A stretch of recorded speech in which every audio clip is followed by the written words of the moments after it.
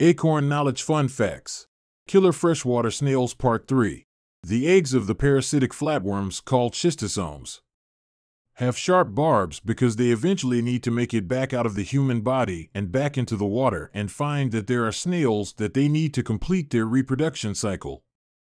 And so those eggs can lodge in different tissues and cause severe symptoms ranging from anemia and fatigue all the way to various severe symptoms, even death in about 10% of chronic cases.